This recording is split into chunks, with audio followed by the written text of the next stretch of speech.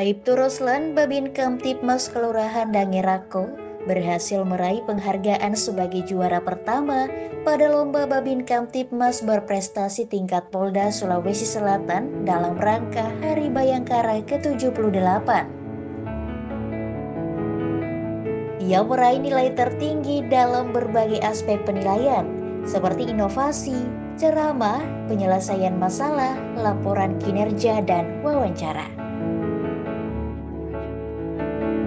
Penghargaan tersebut memang layak diterima oleh pria yang akrab disapa Simar ini karena dedikasi dan pengabdiannya yang luar biasa yang selalu hadir di tengah-tengah warganya yang mengalami kesulitan.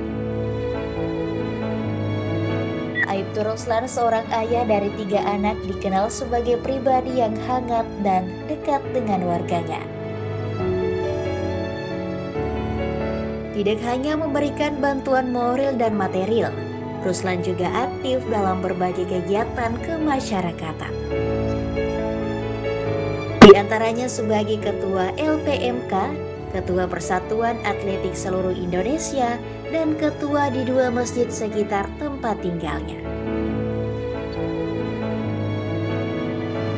Menjadi Babin Kamtipmas sejak 2009 lalu, Ruslan telah membawa perubahan signifikan mengubah status keamanan dan ketertiban Kelurahan Dangirako dari zona merah menuju zona hijau.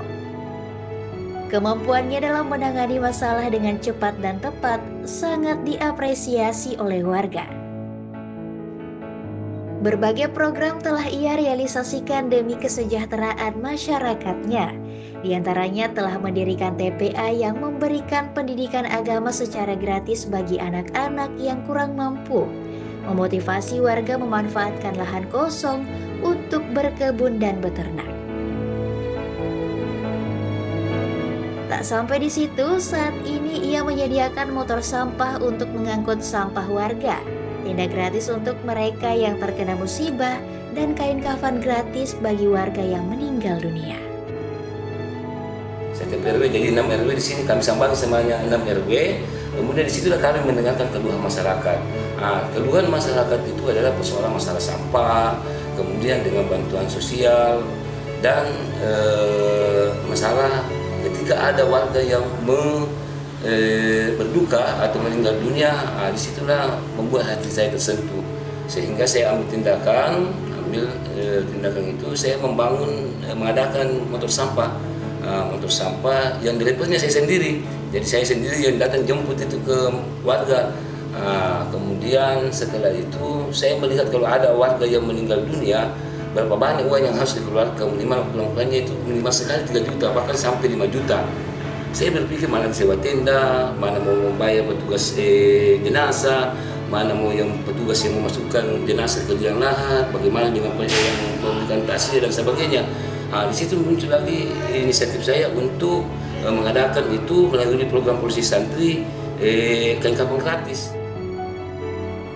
Sebaik-baik manusia adalah manusia yang bisa memberikan manfaat bagi sesamanya. Hadis tersebut ibarat mantra sakti yang selalu menjadi kekuatan bagi Ruslan untuk terus memberikan pengabdian terbaik bagi orang-orang di sekitarnya. Warga Dangiraku memuji Aibtu Ruslan sebagai sosok dengan jiwa sosial yang tinggi. Ruslan, menurut mereka, selalu siap membantu warga yang terkena musibah. Kalau kepribadiannya Haji Ruslan selama jadi Bapak Mas di Kelurahan Dangiraku ini tidak perlu lagi dipertanyakan masalah jiwa sosialnya kepada masyarakat, baik itu e, membantu masyarakat kalau ada yang kena musibah, e, membantu masyarakat kalau ada yang perlu bantuan seperti e, bantuan untuk masyarakat miskin itu sering-sering dia e, mengajukan permohonan kepada komandannya Pak Kapolres dalam hal ini. Dan kalau jiwa sosialnya itu tidak betul-betul tidak ada duanya selama dia menjabat jadi Babin Kamtipmas di Kelurahan Dangirangko ini belum pernah ada yang saya dapati Babin Kamtipmas begitu mana dia juga turun tangan membantu perawatan jenazah sampai penguburannya dia yang eh, istilahnya orang bapak suruh dia juga yang mengawal perjalanan ke dari rumah juga ke kuburan pokoknya selama dia jadi babinkan tipmas itu betul-betul jiwa sosialnya sama masyarakat alhamdulillah belum ada yang sedih. Saat ditemui, Ruslan juga bercerita saat menghadapi ujian hidup pada tahun 2008 silam. Kala itu dirinya menderita tumor di batang otak hingga menyebabkan kelumpuhan pada kedua tangannya. Namun semangat dan dedikasinya tidak pernah surut. Ia tetap menunaikan tugas sebagai seorang anggota polisi hingga akhirnya kondisi kesehatan memaksanya hanya bisa berbaring tanpa mampu berbuat apa-apa. Namun berkat kekuatan doa dan dukungan keluarga, ia berhasil sembuh usai operasi. Kemudian nanti ya atas izin Allah Subhanahu wa taala setelah saya bertobat ya, saya sholat kemudian saya bertobat dalam keadaan saya dalam keadaan lumpuh ya Kemudian Allah bukakan itu penyakit saya ternyata ada tumbuh di batang otak saya. Mau tidak mau harus saya dioperasi. Itu atas ini Allah Subhanahu Wa Taala akhirnya ada dokter yang siap untuk mengoperasi saya di Surabaya. Akhirnya di 2008 itu saya dibawa ke Surabaya untuk dioperasi. Eh, uh, Tumor yang ada di dalam kepala saya di batang otak saya diangkat kemudian saya kembali di Kota Palopo ini di tahun eh, 2008 di bulan 12 itu saya diberikan nikmat kesembuhan.